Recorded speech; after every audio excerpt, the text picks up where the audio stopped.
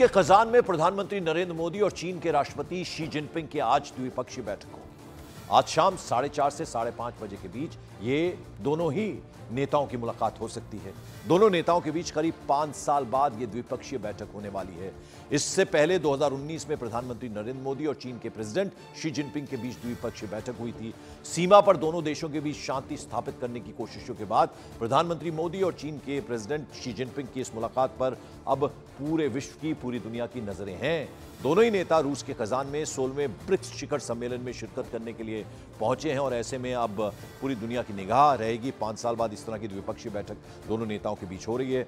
जो एलएसी पर जिस तरह की खींचतान थी, उसमें कुछ सोल्यूशन निकाला गया है। उसके बाद ये बैठक, अब ऐसे में शी जिनपिंग और प्रधानमंत्री नरेंद्र मोदी की इस बैठक पर पूरी दुनिया की नज़र है। सोलहवें ब्रिक्स शिखर सम्मेलन के लिए रूस के खजान पहुँचे हैं। दोनों ही नेता वहाँ पर हैं और आज साढ़े चार से साढ़े पाँच बजे के बीच ये अहम बैठक हो सकती है, द्विपक्षीय बैठक हो सकती है। दोनों नेताओं के बीच। और रूस के कजार में ब्रिक्स समिट से अलग भारत और रूस के बीच द्विपक्षीय वार्ता प्रधानमंत्री नरेंद्र मोदी और रूस के राष्ट्रपति व्लादिमिर पुतिन के बीच ये बैठक हुई, जिसमें यूक्रेन युद्ध पर भी बात हुई। प्रधानमंत्री नरेंद्र मोदी ने एक बार फिर से ये बात दोहराई है कि भारत किसी भी हाल में पीस चाहता है, शांति चाहता है। प्रधानमंत्री नरेंद्र मोदी ने कहा कि भारत ये चाहता है कि इस युद्ध का समाधान, जो सोल्यूशन है, वो पीसफुली यानी शांतिपूर्ण तरीके से निकले।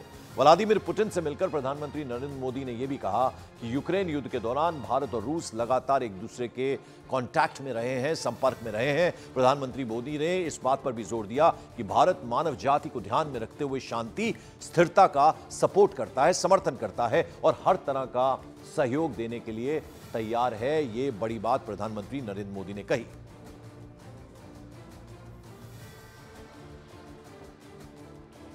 एक्सलेंसी रूस और यूक्रेन के बीच चल रहे संघर्ष के विषय पर हम लगातार संपर्क में रहे हैं।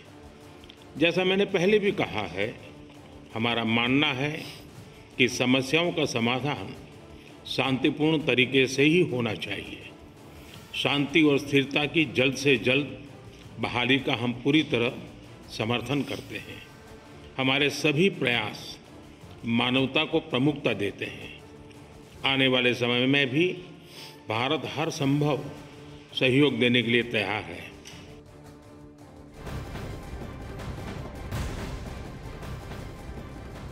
और उधर पश्चिम एशिया में जारी टेंशन के बीच खजान में ब्रिक्स सम्मेलन के दौरान ईरान के राष्ट्रपति मसूद पेजिशकियान, प्रधानमंत्री नरेंद्र मोदी से मुलाकात की। हिजबुल्ला से संघर्ष के बीच इसराइल और ईरान में रिश्ते बेहद तल्ख हो चुके हैं, तनावपूर्ण हो चुके हैं। प्रधानमंत्री नरेंद्र मोदी के साथ मुलाकात के बाद ईरान के राष्ट्रपति पेजिशकियान ने कहा कि बैठक अच्छी रही है।